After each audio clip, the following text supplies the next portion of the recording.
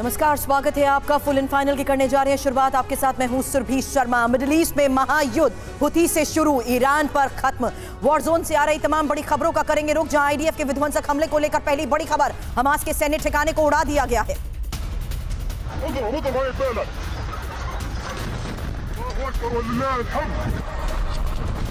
तस्वीरें आपके सामने जहाँ हमले को अंजाम दिया गया और देखिए कैसे हमास के सैन्य ठिकानों को टारगेट करते हुए विध्वंसक वार हुआ। आईडीएफ के विध्वंसक हमले के बाद दूसरी बड़ी खबर का करते हैं रुक जहाँ देखिए किस तरीके से एक और वॉर जोन में इजरायली टैंक को उड़ाने को लेकर बड़ी खबर आई। वेस्ट बैंक में आईडीएफ का यह बड़ा हमला देखिए।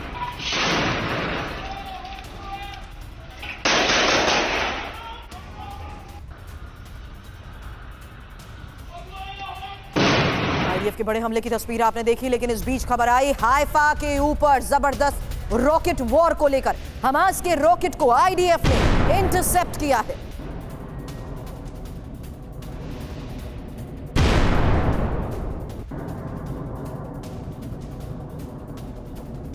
खान यूनिस में इसराइल का बड़ा हमला। एक और बड़ी खबर, नसीर हॉस्पिटल को निशाना बनाने की की गई कोशिश।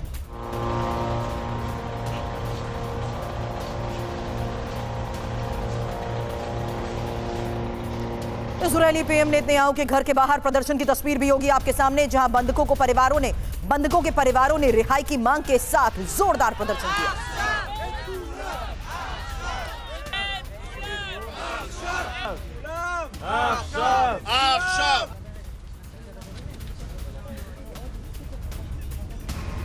बड़ी खबर जहाँ बड़े युद्ध की तैयारी कर रहा है ईरान। मीडिया रिपोर्ट्स के हवाले से बड़े दावे ईरान से मिल रहे हैं। तैयारियों के संकेत।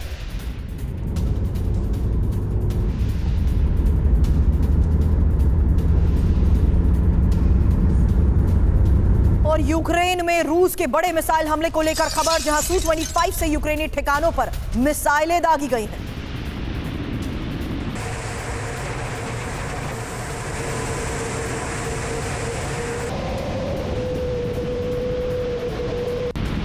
यूक्रेनी ठिकानों को टारगेट करते हुए कैसे मिसाइल दागी गई, तस्वीर आपके सामने है। नॉर्थ कोरिया की बड़ी सैन्य तैयारी को लेकर अगली बड़ी खबर, एटमी अंडर वाटर ड्रोन का किया गया टेस्ट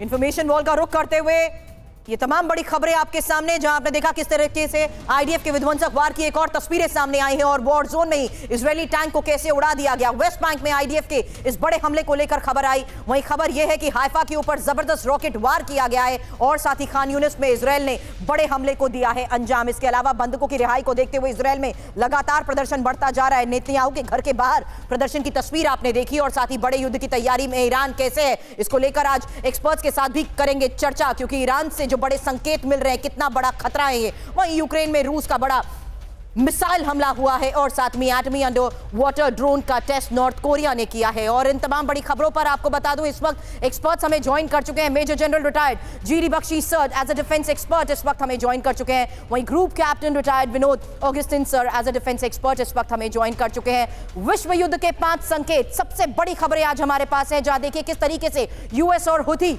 युद्ध भड़का रहे हैं। और हुथी और अमेरिका के बीच युद्ध का ये दूसरा पड़ाव कैसे शुरू हो चुका है? इस बारे में डिटेल होगी आपके सामने। वहीं ईरान पर ब्रिटेन की यलगार अमेरिका से ईरान की तलखी के बीच अब ब्रिटेन कैसे कर रहा है? ईरान से युद्ध की तैयारी। डिटेल होगी आपके सामने। वहीं लेबनन पर हमले की तारीख तय। लेबनान पर इसराइल कब करेगा सबसे बड़ा वार? इसकी तारीख तय हो गई है। कौन सी है वो तारीख? बड़ा खुलासा। अब से थोड़ी देर में वहीं नब्बे हज़ार नेटो सैनिक है तैयार। रूसी बॉर्डर के नज़दीक क्यों जमा हो रहे हैं? नब्बे हज़ार नेटो सैनिक। क्या रूस पर हमला होने वाला है?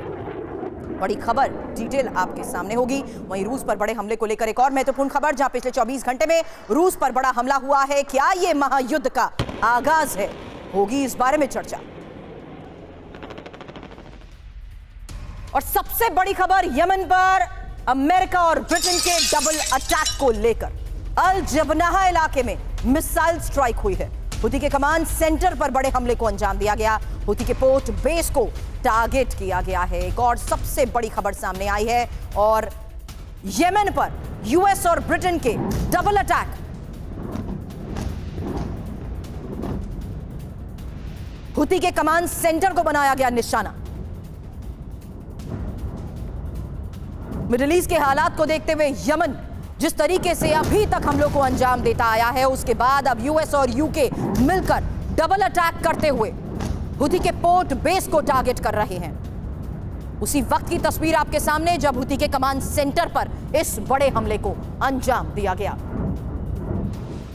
और अब ईरान के खिलाफ युद्ध में ब्रिटेन, एक और बड़ी खबर, हुती पर हमला, ईरानी खतरे पर अटैक हुती पर हमलों में अमेरिका के साथ है ब्रिटेन और ईरान का प्रॉक्सी ग्रुप है हुती। और ब्रिटिश अखबार द टेलीग्राफ की तरफ़ से किए जा रहे बड़े दावे को लेकर खबर यह सामने आई है, जहाँ हुती पर हमलों में अमेरिका के साथ ब्रिटेन है और हुती पर हमला ईरानी खतरे पर अटैक है।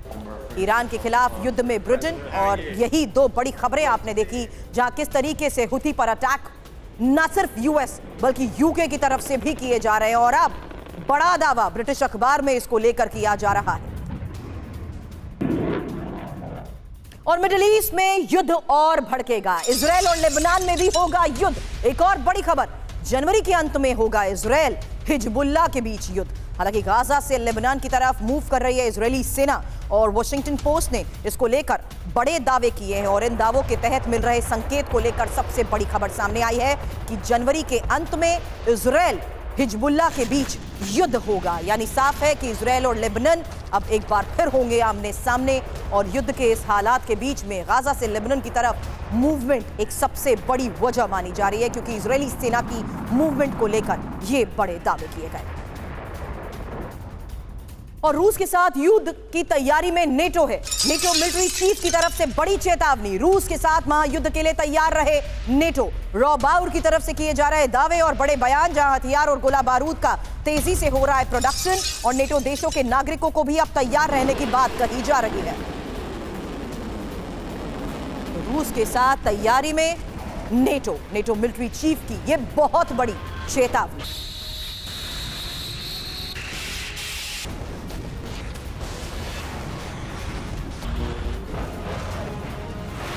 हथियारों की तेज़ी से हो रहे प्रोडक्शन को लेकर ये बड़े दावे किए जा रहे हैं। नेटो की इस तैयारी नेटो देशों के नागरिकों को दी जा रही तैयार रहने की चेतावनी। क्या मतलब है इसका? इस बारे में करूँगी चर्चा, लेकिन इस बीच तीन बड़ी खबरें एक साथ आपके सामने, जहाँ हुती के कमांड सेंटर पर हुए हमले की तस्वीर हमने आपको दिखाई। वहीं गाजा से लेबनन की तरफ़ हो रही इसराइली सेना की मूवमेंट के तहत बड़े दावे वॉशिंगटन पोस्ट की तरफ़ से भी किए गए हैं। और महत्वपूर्ण ये है कि अब रॉब बाउर महायुद्ध के लिए तैयार रहे नेटो और हथियार और गोला बारूद का जिस तरीके से हो रहा है, तेज़ी से प्रोडक्शन उसका हवाला देते हुए बड़ी बात कह रहे हैं। जीडी बख्शी सर, सबसे पहले नेटो की तैयारी और हथियार और गोला बारूद की प्रोडक्शन को देखते हुए ये वॉर जोन के हालात में एक बड़ी मैसेजिंग तो होती है। लेकिन आज के इस बयान को आप कैसे देखते हैं, जहाँ नेटो देशों के नागरिकों को भी तैयार रहने की बात कही जा रही है? देखिए, वो जो यूक्रेन की युद्ध में हालत बहुत पतली हो गई है यूक्रेन का मनोबल बढ़ाने के लिए ऋषि सोनाक प्राइम मिनिस्टर ऋषि सोनाक कई में फ्लाइंग किया था कुछ दिन पहले उन्होंने और आश्वासन दिया कि हम आपको नहीं छोड़ेंगे लेकिन ज़मीन पर संकेत कुछ और हैं ये जो 90,000 ट्रूप्स की नेटो एक्सरसाइज है हम्म। ये एक ज़्यादातर संकेतिक कोअर्सिव डिप्लॉयमेंट है मैं नहीं समझता वो युद्ध करेंगे हम्म। रूस के साथ क्योंकि उसका सीधा मतलब परमाणु युद्ध पे जाना एटॉमिक वॉर अभी कोई रिस्क करने के लिए तैयार नहीं। इसका मतलब कि ये जो है कोअर्सिव डिप्लॉयमेंट की एक्सरसाइज है। okay. ये रूस को चेतावनी देने की कोशिश है कि आगे मत बढ़ो और एक बड़ा हमला जो है यूक्रेन में ना करे रूस। इसलिए हम्म। उसको थोड़ा सा झिझक पैदा करने के लिए है। The fact of the matter is कि अब अमेरिका भी रूस से तेल खरीदना शुरू कर दिया है। ये okay. डील सामने आई है। Hmm. अमेरिका अब पिविट टू एशिया कर रहा है। Okay. उसको चीन की तरफ़ चीन का खतरा लग रहा है कि वो ताइवान पे हमला कर देगा। वो यहाँ से अपना पिंड छोड़ाना चाहता है। यूरोप को कह रहा है कि आप मोर्चा संभालो। अमेरिका अब पिवट करेगा चीन की तरफ़ एशिया okay. की तरफ़। ये लॉजिकल है। ये स्ट्रेटेजिक व्यू पॉइंट से ये बहुत अहम एक शिफ्ट हो रहा है। यू, यूक्रेन की लड़ाई तकरीबन खत्म हो चुकी है उनकी okay. फौज बहुत बुरा चोट खाई है अपने हमलों में जो बिल्कुल सही कह रहे हैं सर लेकिन ये विकीन लाइन के जियोपॉलिटिकल टेंशंस और ये एग्रेसिव एक्शंस जिस तरीके से बड़े संकेत देते हैं और ये जो बयान आते हैं उसी आधार पर ये चर्चा की जानी ज़रूरी है। हालाँकि इसको लेकर कुछ और बड़ी खबरें भी हमारे पास है लेकिन उससे पहले रेड सी में हुती के बड़े हमले को लेकर खबर। कमर्शियल शिप पर हुती का हमला। हुती के हमले की तस्वीरें भी अब सामने आई है जहाँ शिप में लगे सीसीटीवी कैमरे में हमले की तस्वीर हुई है कैद। ये तस्वीर अब आपके सामने।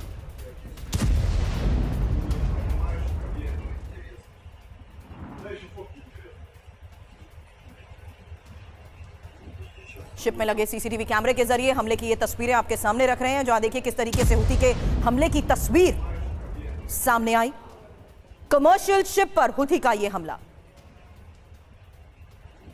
एक और बड़ी खबर, इस बीच जहाँ देखिए किस तरीके से अमेरिकी शिप पर हुती का हमला हुआ। कैम रेंजर पर हुथी के मिसाइल अटैक को लेकर यह बड़ी खबर है। सेंसकॉम के अधिकारियों ने हमले की पुष्टि भी की है।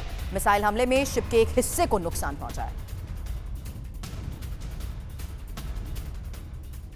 और अब यमन पर अमेरिका और ब्रिटेन के डबल अटैक को लेकर खबर, जहाँ अल जबनाहा इलाके में मिसाइल स्ट्राइक हुई है। हुती के कमांड सेंटर पर यह बड़ा हमला हुआ। हुती के पोर्ट बेस को निशाना बनाया गया है।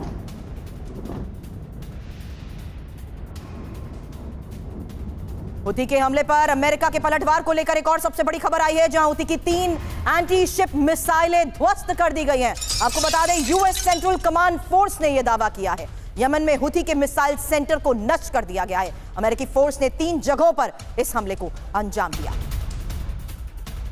तो लगातार हुथी पर भी हमलों को अंजाम अमेरिकी फोर्स की तरफ़ से दिया जा रहा है, जहाँ यूएस सेंट्रल कमांड फोर्स ने बड़ा दावा किया है। यमन में हुथी के मिसाइल सेंटर को नष्ट करने का और अमेरिकी फोर्स ने तीन जगहों पर जिस तरीके से हमले को अंजाम दिया है, तस्वीरें जारी कर यह नुकसान पहुँचाया गया है और उसकी तस्वीरें जारी कर बड़े दावे किए जा रहे हैं। हुथी के हमले पर अमेरिका के इस पलटवार को लेकर यह सबसे बड़ी खबर सामने आई है। हुती के ठिकानों पर यूएस शिप का हमला और बड़ी खबर यह आई है कि कैसे अब हुती और अमेरिका की ये ऑल आउट वॉर जारी है, जहाँ US Central Command force Houthi पर बड़े हमलों को अंजाम दे रहा है और यमन में हुती की तीन एंटी शिप मिसाइलों को ध्वस्त करने का दावा किया गया है। 24 घंटे में हुती के 17 मिसाइलों को तबाह करने का दावा किया गया है और यमन में हुती का मिसाइल सेंटर तबाह करने का यह दावा, जहाँ पिछले 10 दिनों से हुती के ठिकानों पर हमलों को अंजाम दिया जा रहा है। अब हुती के खिलाफ ग्रीस के मिशन पर संकट। एक और सबसे बड़ी खबर 17 ग्रीस नौसैनिकों ने हाइड्रा फ्रिगेट का साथ छोड़ दिया है। रेड सी में तैनात होने वाली थी ये ग्रीस की फ्रिगेट और अमेरिकी नौसेना के साथ मिलकर हुती पर हमले का प्लान बनाया गया था। लेकिन इस बीच ये बड़ी खबर आई है। ग्रीस नेवी को 30 नए अब क्रू मेंबर्स की भी तलाश है। विनोद ऑगस्टिन सर इस वक्त हमें ज्वाइन कर चुके हैं। विनोद सर ये बड़ा सवाल है। इस पूरे रीजन में बढ़ते खतरे के बीच किस तरीके से ग्रीस अभी तक कोलिजन कर रहा था यूएस नेवल फ्लीट के साथ इस हालात को निपटने के लिए। लेकिन यहाँ तो हुती के खिलाफ ग्रीस के मिशन पर ही संकट पैदा नज़र संकट नज़र आ रहा है। देखिए इसके जो जैसे जनरल जनरल ने अभी ज़िक्र किया था इसके दो बड़े कारण हैं। सबसे पहला कारण तो आ, एंटी इसराइल तो है ही है। बट जो हम देख नहीं रहे हैं वो है एंटी सऊदी ऑपरेशन जो भी रेड सी से गुजरेगा या जो भी ऑयल या क्रूड सऊदी से निकलेगा उसको अगर रोक दिया जाए तो सऊदी के हालात पतले हो जाएँगे क्योंकि मैक्सिमम ऑयल उनका जो है अरब खाड़ी से यूरोप की तरफ़ जाता है। और जब से ये नॉर्थ नॉर्थ स्ट्रीम और ये सारी चीज़ों का बंद हुआ है उस समय से इनका सारा ऑयल यहाँ से जा रहा है। और हूती का ये करना सबसे बड़ा रीजन ये है कि इनका और सऊदी का बिल्कुल छत्तीस का आंकड़ा है सब जानते हैं। और इसको ईरान इसीलिए सपोर्ट कर रहा है ताकि इन ये अपना उल्लू भी सीधा कर ले सऊदी के साथ। तो आप देख रहे हैं इसका पूरा संकेत हमको दिख ही रहा है पाकिस्तान और ईरान के बीच का लड़ाई हो या हिजबुल्ला सीरिया के बीच का लड़ाई हो। तो ये अपना जो शिया सुन्नी का जो मामला है इसको भी बीच में ला करके सोच रहे हैं कि ये ये भी साथ साथ में निपट जाए सॉर्ट आउट हो जाए। सर लेकिन सिक्योरिटी स्टेबिलिटी लाने के लिए ये जो रेडीनेस और प्रिपेयर्डनेस नज़र आती है उसके तहत सिक्योरिटी चैलेंजेस और थ्रेट रेड सी में लगातार बढ़ता जा रहा है। और उस लिहाज से ये समझना भी ज़रूरी है कि आज के इस हालात को देखते हुए यूएस किस तरीके से एग्रेसिव एक्शन लेता जा रहा है। वहीं इराक की राजधानी बगदाद में अमेरिकी ड्रोन क्रैश को लेकर एक और बड़ी खबर आई है। आपको बता दें बलाद एयरबेस के नज़दीक यूएस ड्रोन क्रैश हुआ है और ईरानी मिलीशिया ने ड्रोन मार गिराने का किया है दावा। अमेरिका के नाइन ड्रोन को मार गिराने का दावा किया गया है।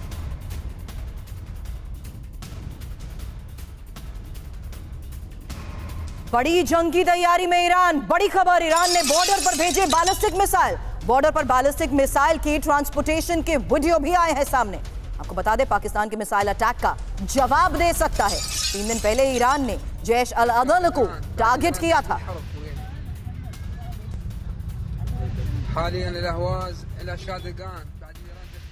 ये उस मूवमेंट की तस्वीर आपको दिखा रहे हैं जो बड़ा संकेत दे रही है और इसी के तहत बड़ी जंग की तैयारी में ईरान। ये सबसे बड़ी खबर सामने आई है, जहाँ तीन दिन पहले ईरान ने जैश अल अदल को टारगेट किया था और उसके बाद ये मूवमेंट तस्वीरें आपको दिखा रहे हैं। बॉर्डर पर बालिस्टिक मिसाइल के ट्रांसपोर्टेशन की। ईरान ने बॉर्डर पर ये बैलिस्टिक मिसाइल भेजे हैं। तो ईरान की इस तैयारी के क्या बड़े संकेत मिल रहे हैं? इस बारे में आगे करूँगी चर्चा, लेकिन उससे पहले एक और सबसे बड़ी खबर, ईरान की विध्वंसक न्यूक्लियर तैयारी को लेकर, जहाँ ईरान तेज़ी से यूरेनियम भंडार बढ़ा रहा है। परमाणु बॉम्ब बनाने लायक यूरेनियम उत्पादन को लेकर खबर बड़ी है, और आईएईए को यूरेनियम भंडार की जानकारी ईरान नहीं दे रहा है। एक साल में 100 किलो से ज़्यादा सर्वाधिक यूरेनियम प्रोडक्शन ईरान कैसे कर रहा है इसको लेकर? यह बड़ी खबर सामने आई है। ईरान की न्यूक्लियर जंग की तैयारी को लेकर खबर इसलिए क्योंकि सर्वाधिक यूरेनियम भंडार ईरान बढ़ा रहा है। यह बड़ी खबर है। जहाँ एक साल में 100 किलो से ज़्यादा 60 परसेंट सर्वाधिक यूरेनियम उत्पादन को लेकर खबर आई है। एक परमाणु हथियार के लिए 90 परसेंट तक सर्वाधिक 20 किलो यूरेनियम की ज़रूरत होती है। और ईरान के पास परमाणु हथियार के लिए पर्याप्त मात्रा में यूरेनियम है। आईएईए की तरफ़ से भी ये बड़े दावे किए जा रहे हैं और इंटरनेशनल परमाणु ऊर्जा एजेंसी को ये जानकारी साझा नहीं कर रहा है ईरान। ईरान का रवैया निराशाजनक है। और इस बीच ये सबसे बड़ी खबर के साथ ही अब मैं इंफॉर्मेशन वॉल का भी रुख करना चाहूँगी, क्योंकि एक डेटा आपके सामने रखेंगे, जहाँ हाई यूरेनियम प्रोडक्शन ईरान में परमाणु बॉम्ब ये इसलिए कह रहे हैं क्योंकि यहाँ देखिए 2021 में ज़ीरो कोई आंकड़ा ऐसा नहीं था जो ये संकेत दे रहा हो कि किस तरीके से सर्वाधिक यूरेनियम को लेकर ईरान बड़े स्तर पर तैयारी कर रहा है। लेकिन सीधा 2022 में ये फैक्ट सामने आते हैं, जहाँ 50 परसेंट तक की तैयारी और फिर 2023 में 100 परसेंट और उसके बाद 2024 में 150 ये डेटा उस लिहाज से आपके सामने रख रहे हैं, जहाँ 60 परसेंट तक सर्वाधिक यूरेनियम पर केजी और अगर 90 परसेंट तक ये पहुँच जाता है। जीडी बख्शी सर, आप ये ज़्यादा बेहतर बता पाएँगे कि आखिर ये आंकड़े किस तरीके से इस पूरे रीजन में ईरान की बड़ी तैयारी का संकेत देते हैं जहाँ हम ये जानते हैं कि न्यूक्लियर क्षमताओं को देखते हुए ईरान की तैयारी को लेकर पहले भी बड़े दावे किए गए। लेकिन कुछ फैक्ट्स हैं जो आईएईए भी कह रहा है कि ईरान हमेशा छुपाता आया। है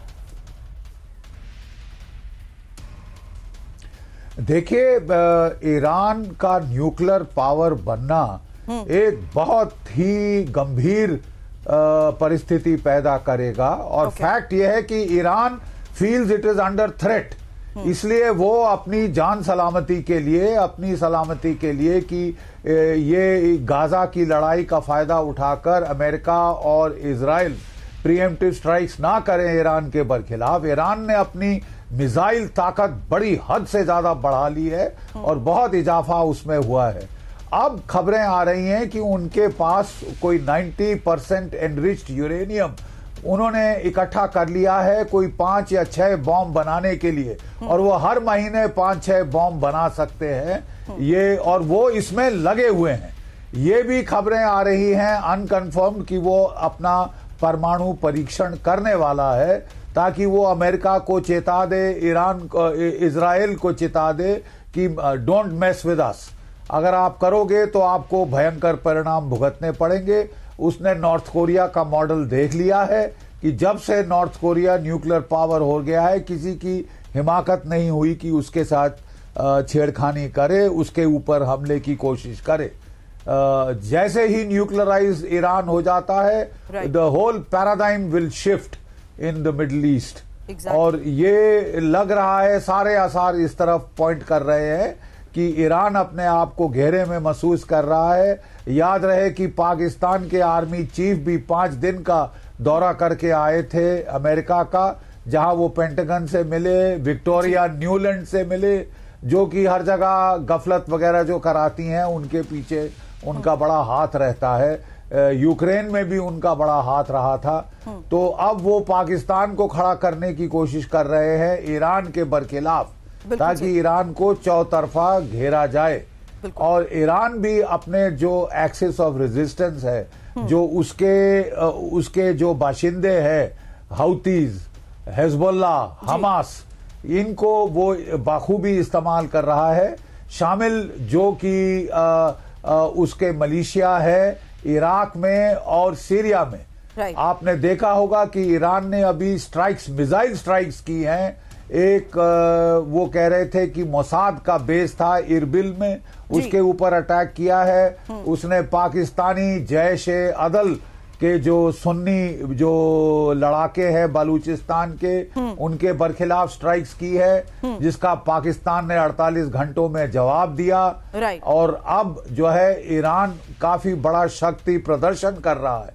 वो दुनिया को ऐसी मिसाइल्स को लॉन्च किया जा रहा है जिनकी रेंज कर भी रहा है जिनकी रेंज भी लगभग us. पंद्रह सौ से ज़्यादा बताई जाती है, जिसमें ना सिर्फ़ तेल अवीव और हाइफा में इजरायली बेस सामने आते हैं, बल्कि कुछ ऐसे एरियाज़ जिसको देखते हुए बड़े संकेत ईरान की तरफ़ से मिले हैं। हालाँकि ईरान के खिलाफ युद्ध में ब्रिटेन भी है। एक और बड़ी खबर, हुती पर हमला, ईरानी खतरे पर अटैक, और हुती पर हमलों में अमेरिका के साथ ब्रिटेन है। ईरान के प्रॉक्सी ग्रुप है हुती, और ब्रिटिश अखबार द टेलीग्राफ की तरफ़ से किए जा रहे इस बड़े दावे को देखते हुए ये खबर अब आपके सामने, जहाँ देखिए हुती पर अटैक की तस्वीरें तो जारी की जा रही है, लेकिन ईरान से यूएस और ब्रिटेन के युद्ध को लेकर बात हम क्यों कह रहे हैं? क्योंकि जिस तरीके से लगातार युद्ध को अंजाम, युद्ध और ज़्यादा एग्रवेट होता जा रहा है। यमन में बढ़ते, बिगड़ते हालात और वहाँ पर अब हुथी पर हमलों को अंजाम दिया जा रहा है। हालाँकि ये बड़ी खबर सामने आई है, जहाँ ब्रिटेन और यूएस लगातार हुती पर हमलों को अंजाम दे रहे हैं और हुती पर हमलों में अमेरिका के साथ ब्रिटेन है। हुती पर हवाई हमलों का मतलब ईरान पर हमला और हुती पर हमला बड़ी रणनीति का भी हिस्सा माना जा रहा है, जहाँ हुती को ईरान से फंडिंग और हथियार तो सप्लाई होते हैं। इस्लामिक रिवोल्यूशनरी गार्ड कोर करता है इसको कंट्रोल और ईरान की सहमति के बिना हुती हमले नहीं कर सकता है। हालाँकि सात अक्टूबर के बाद ईरान ने हुती को एक्टिव किया है और अब जो दावे द टेलीग्राफ की इस रिपोर्ट के आधार पर किए जा रहे हैं। एक एक क्विक सवाल विनोद सर आपसे क्योंकि कॉम्प्रिहेंसिव प्लान ऑफ़ एक्शन इसे कहना गलत नहीं होगा जहाँ ईरान और हुती जिस तरीके से हमलों को अंजाम देते जा रहे हैं। बिल्कुल जैसे आपने कहा ईरान के ब्लेसिंग्स के बिना कोई भी शिया मिलिशिया हो वो आगे नहीं बढ़ता है क्योंकि शिया मिलिशिया जहाँ भी हैं पाकिस्तान में हो या फिर यमन में हो या जहाँ कहीं भी हो उनका ईरान एक तरह से एक बिग ब्रदर का रोल प्ले करता है शिया दुनिया भर के शियाज में भारत के भी। तो आपको ये समझना ज़रूरी है वो आर्थिक मदद के साथ साथ उनको पैसे का मदद भी करता है और इंटेलिजेंस का भी मदद करता है। जैसे अभी जनरल साहब ने बताया जो जो दो तीन अटैक्स जो हुए हैं बट इनका देखिए ये तो आपस में भी लड़ रहे हैं और इनके खिलाफ भी लड़ रहे हैं। सर, आपकी आवाज़ अभी चली गई है। जल्द आपके पास वापस लौटती हूँ, लेकिन इस बीच एक और सबसे बड़ी खबर का रुख, जहाँ ब्रिटेन ने वर्ल्ड वॉर की वार्निंग दी है और ब्रिटेन के डिफेंस चीफ ने वर्ल्ड वॉर की दी है चेतावनी। आपको बता दें, चीन, रूस, ईरान के खिलाफ हो सकता है विश्व युद्ध। ब्रिटिश रक्षा मंत्री ग्रांड शॉप्स के हवाले से फॉक्स न्यूज़ का यह दावा, और यह दावा किस आधार पर किया जा रहा है? प्री वॉर फ़ेज़ से बताया जा रहा है, और आने वाले पाँच साल को देखते हुए यह सबसे बड़ा बयान दिया गया है। तो वर्ल्ड वॉर की वार्निंग को देखते हुए यह बड़ी खबर, जहाँ ग्रांड शॉप्स का यह बयान, दुनिया प्री वर्ल्ड वॉर फ़ेज़ में है। पाँच साल के अंदर हो सकता है विश्व युद्ध। दुनिया की बड़ी और उभरती शक्तियों के बीच जंग का यह दावा किया जा रहा है। तो दुनिया प्री वर्ल्ड वॉर फ़ेज़ में है और पाँच साल के अंदर हो सकता है विश्व युद्ध। चीन रूस, ईरान के खिलाफ विश्व युद्ध का ये संकेत दे रहे हैं और ब्रिटेन के डिफेंस चीफ ग्रांड शॉप्स ने ये बड़ी चेतावनी दी है। ईरानी प्रॉक्सी ग्रुप भड़का रहे हैं संघर्ष। फॉक्स न्यूज़ को दिए गए इंटरव्यू में ये बड़ा दावा। और अब फारस की खाड़ी में ब्रिटिश वॉरशिप की टक्कर को लेकर एक बड़ी खबर आई है, जहाँ आपको बता दें, बहरीन में टकराई दो ब्रिटिश माइंड स्वीपर डॉकिंग के दौरान ब्रिटिश शिप में टक्कर को लेकर खबर आई है। टक्कर में एक शिप को नुकसान भी पहुँचा है। रॉयल नेवी ने टक्कर की जाँच शुरू कर दी है।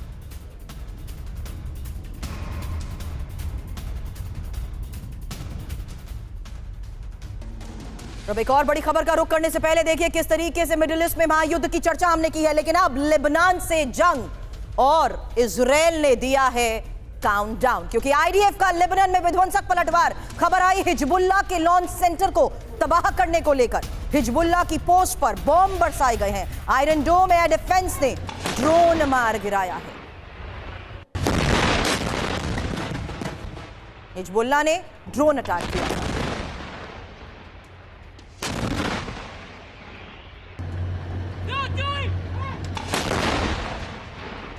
और इसराइल ने हिजबुल्ला को विध्वंसक धमकी दी है, जहाँ इजरायली मंत्री बैन गावर ने युद्ध की धमकी दी है। हमें हिजबुल्ला के साथ युद्ध करना चाहिए। युद्ध शुरू नहीं किया तो उत्तरी इसराइल में मुश्किलें बढ़ती जाएँगी।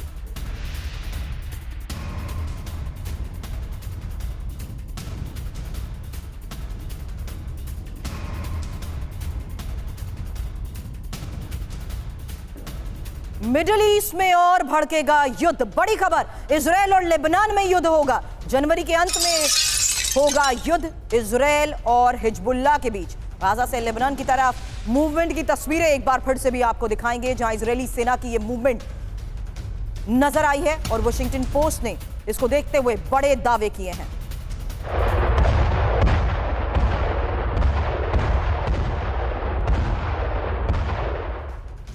युद्ध के इस हालात के बीच ये बड़े संकेत जहाँ इसराइल और लेबनान में युद्ध पक्का, क्योंकि जनवरी के अंत में इसराइल हिजबुल्ला के बीच युद्ध होगा, ये दावा किया जा रहा है। नॉर्दर्न बॉर्डर पर इसराइल की ज़बरदस्त तैयारी को लेकर बड़े दावे। दक्षिण लेबनान बॉर्डर पर जमा हो रही इसराइली सेना की मूवमेंट को लेकर तस्वीरें सामने आई, जहाँ गाजा से लेबनान की तरफ़ आईडीएफ मूवमेंट कर रही है और लंबे वक्त से हिजबुल्ला उत्तरी इसराइल पर, जिस तरीके से हम लोग को अंजाम दे रहा है। इसराइल लेबनान युद्ध टालने में लगा हुआ है अमेरिका और वॉशिंगटन पोस्ट की तरफ़ से जिस तरीके से ये दावे किए जा रहे हैं। अमेरिका, विनोद सर, ये सवाल आपसे करना चाहूँगी क्योंकि अमेरिका ने शुरू से इसराइल को युद्ध को और ज़्यादा इग्नाइट होने से बचने की सलाह दी है। लेकिन इस हालात में इसराइल ने अमेरिका की भी नहीं मानी है। तो क्या यह दावा एक और बड़ा संकेत दे रहा है जहाँ इसराइल और लेबनान में जनवरी के अंत में युद्ध की बात कही जा रही है? देखिए ये जो मिलिट्री इंडस्ट्रियल कांग्रेशनल कॉम्प्लेक्स जिसके बारे में मैं और जनरल साहब पिछले एक साल से बात कर रहे हैं अमेरिका के इशारे के बिना इसराइल एक एक कोली भी इधर उधर नहीं कर सकता है। Exactly. अमेरिका दुनिया को कुछ और कहता है और करता पीछे बैकडोर में कुछ और करता है। जब तक ये गाजा स्ट्रिप का गाजा और फिलिस्तीनी मामले का और हमास का कोई परमानेंट इलाज ना हो जाए आप और मैं ये भूल जाए और दुनिया ये भूल जाए कि इसराइल इस युद्ध से पीछे हटेगा। बिल्कुल नहीं। इट इज़ नॉट पॉसिबल तो ये बिल्कुल ही एक क्या बोलते हैं एक पाइप ड्रीम है। और पाइप ड्रीम ही रहेगा। और रही बात माल खाने की और या वेपन्स को बेचने की वो एमआईसीसी का काम है जो आ, सारे पॉलिटिकल पार्टी को ओपनली ऑफिशियली पेट्रोनेज देता है। तो ऑफिशियली कोई भी पॉलिटिकल पार्टी एमआईसीसी को सपोर्ट करेगा ही क्योंकि उनके पैसे से ये लोग जीत करके आते हैं। तो ये सारी चीज़ें जो हैं हाथी के दांत हैं और इसका हमें आपको और हमारे दर्शकों को जो है स्पीकिंग और टीवी नाइन के दर्शकों को इस बात इन बातों में इन बातों के बियॉन्ड पारदर्शिता से देखना चाहिए। बिल्कुल सर लेकिन इन हालात के बीच में जिस तरीके की स्थिति नज़र आ रही है गाजा में आईडीएफ के विध्वंसक धमाकों को लेकर भी खबर मिली है जहाँ मरीन कॉप्स फाइटर्स ने आईडी ब्लास्ट किया है और हमास के ठिकानों को धमाके से कैसे उड़ाया? तस्वीर आपके सामने। इसराइली एयरफोर्स ने बैकअप बमबारी की। आईडीएफ ने आईडी लगाते हुए वीडियो भी जारी किया है।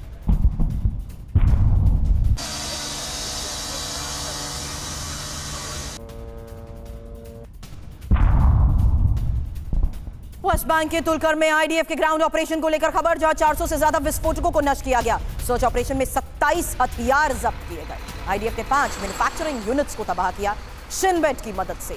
वेस्ट बैंक में सर्च ऑपरेशन। सैनिकों के बीच पहुँचे आईडीएफ चीफ। एक और खबर, जंग लड़ रहे सैनिकों से की मुलाकात, जहाँ निन्यानवे डिवीज़न कमांडर्स के साथ हुई मीटिंग। कुछ रिजर्विस्ट को घर भेजेगा इसराइल सैनिकों में युद्ध का तनाव कम करने की कोशिश। अब खान यूनिस में इसराइल के हमले को लेकर खबर, जहाँ अबासन इलाके में मिसाइल गिरी है और स्थानीय युवक ने रिकॉर्ड किया है वीडियो। जमींदोज हुआ घर देखने गया था। हालात के बीच लोग अपनों को तो तलाश ही रहे थे, लेकिन अपने घरों को जमींदोज होने के बाद एक बार फिर ये युवक यहाँ पर अपने घर देखने के लिए पहुँचा था और ये स्थानीय युवक ने तस्वीरें कैद की हैं। किस तरीके से? अबासन इलाके में भी मिसाइल गिरी हैं और लगातार खान यूनिस में हमलों को अंजाम दिया जा रहा है।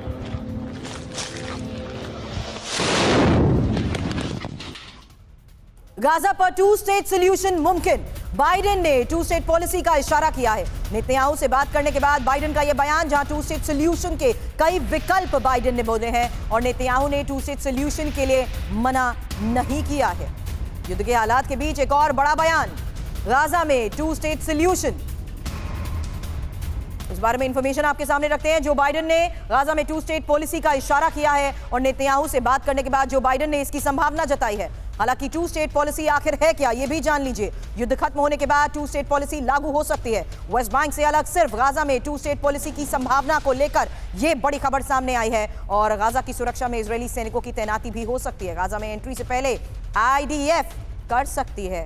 हर एक वाहन की भी जाँच गाजा को फिर से बसाकर वहाँ फिलिस्तीनी सरकार तैयार करना और गाजा में शिक्षा और सरकारी विभाग को पूरी तरीके से बदलने को लेकर इजरायली मीडिया की तरफ़ से बड़े दावे किए जा रहे हैं। हालाँकि टू स्टेट सोल्यूशन पर नेतन्याहू की सख्ती को लेकर भी खबर आई है, जहाँ गाजा का सुरक्षा नियंत्रण ज़रूरी बता रहे हैं नेतन्याहू। भविष्य की व्यवस्था के लिए हमारी शर्त है और ज़्यादातर इजरायली फिलिस्तीनी राज्य के विरोध में है। हम जो इलाका खाली करते हैं, वहाँ आतंक मिलता है। जीडी बख्शी सर, नेतन्याहू का ये इशारा, जो बाइडन का ये इशारा, क्या युद्ध के हालात के बीच बड़े संकेत मिल रहे हैं?